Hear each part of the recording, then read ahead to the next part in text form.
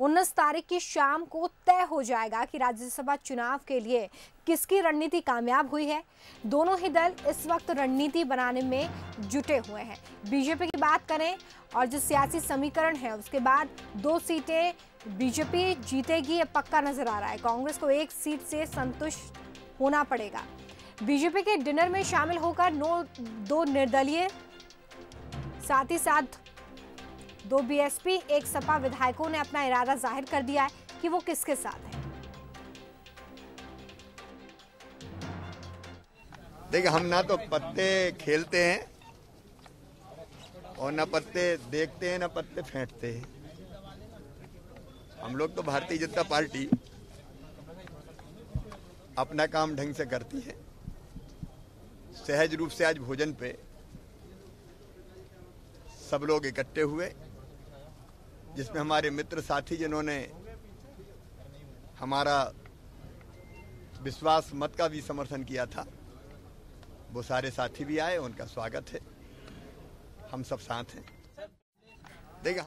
और देखिए, इसके अलावा कांग्रेस ने अपनी रणनीति बदल दी है। कांग्रेस ने क्रॉस वोटिंग की आशंका को देखते हुए दिग्विजय सिंह के लिए चौवन विधायकों को नामांकित किया है, जबकि एक सीट के लिए सिर्फ़ बावन वोटों की ज़रूरत है।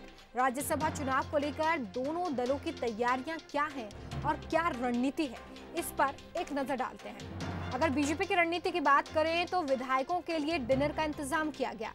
विधायकों के पहुँचने का सिलसिला यहाँ पर जारी रहा। बीजेपी के 106 विधायक पहुँचे, यशोधरा राजे सिंधिया, भोपाल पहुँची, मगर डिनर में शामिल नहीं हुई।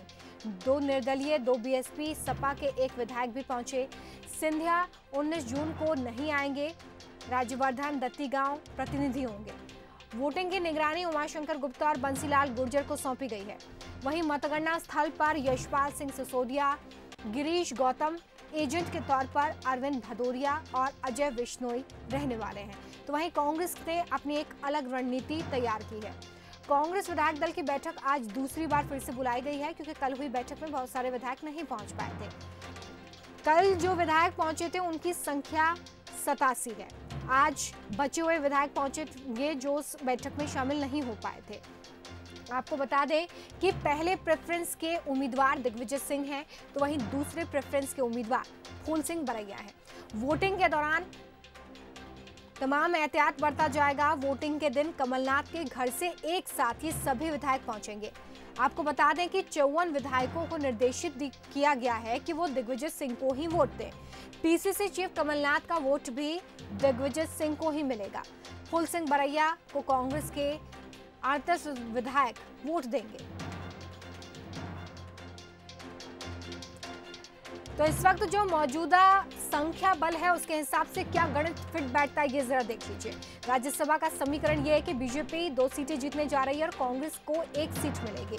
बीजेपी के पास दरअसल 107 विधायक हैं, जिसमें दो निर्दलीय, दो बीएसपी, एक सपा का भी समर्थन उसको मिल गया है, जिसके बाद ये संख्या बल एक सौ चौदह हो गया है। बीजेपी की दो सीटें पक्की मानी जा रही हैं, कांग्रेस के पास अभी बयानवे विधायक हैं और दो निर्दलियों का समर्थन है।